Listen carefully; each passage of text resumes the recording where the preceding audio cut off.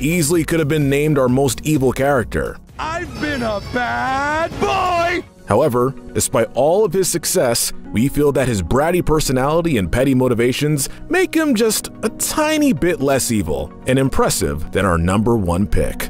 We're giving Scarlet